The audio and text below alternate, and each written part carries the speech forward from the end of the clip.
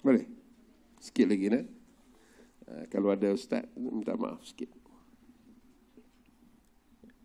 Satu lagi yang kita nak muhasabah ialah api di dapur yang kita gunakan setiap hari. Narukum hadhihi allati tuqidun. Tuqidun ni api yang kamu nyalakan di dapur. Kata Nabi, api itu juz'un min sab'ina juz'a. Satu juzu daripada tujuh puluh di hari akhirat besok. Min hari jahannam daripada panas api neraka. Jadi kalau api di dunia 100 darjah Celsius.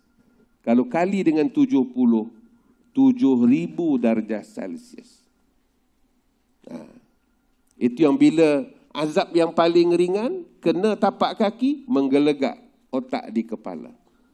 Ha, itu sebab dia tujuh puluh kali ganda. Juz'un min sab'ina juz'a. Bila Nabi sebut ini sahabat kata wallah in kanat lakafiyah. Yang ini pun ya Rasulullah kami tak mampu nak tanggung. Api yang di dapur itu nak walaupun kecil nak genggam tak mampu. Terkena pun kita tak mampu, kita tarik cepat itu baru satu daripada sab'ina tujuh puluh di akhirat nanti. Tujuh puluh kali ganda. Jadi apakah kita boleh meremehkan dosa ini? Dosa kecil saja. Ah, apalah.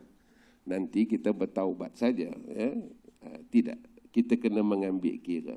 Sebab itu masa yang lalu masa yang pergi meninggalkan kita dia tidak akan datang balik.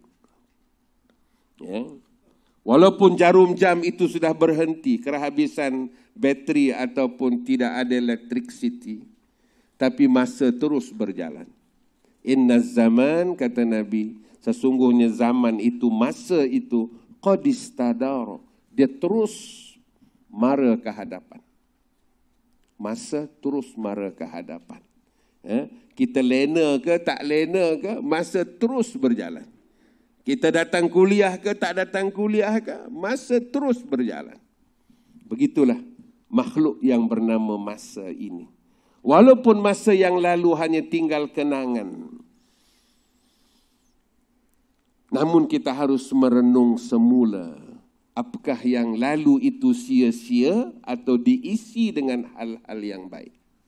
Ha, itulah namanya muhasabah. Kita tentu akan menghargai masa lalu kalau kita mampu membayangkan seorang banduan yang menanti hari untuk dihukum.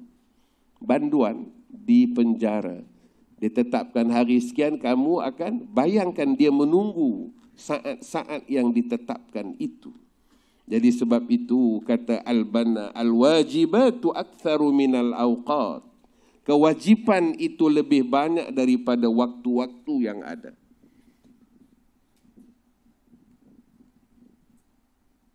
The time always constrain eh, berbanding dengan apa yang kita nak buat. Terbatas limited eh. kita sedar-sedar bangun tidur dah umur kita berapa dah ya. Begitulah. Jadi kata kata albana fa'awin tolonglah. Eh, fa'awin ghairak tolonglah orang lain. Alal intifa supaya mereka manfaatkan biwaktihi masanya. Kita tengok anak cucu kita depa membuang masa begitu saja. Menghabiskan masa mereka begitu.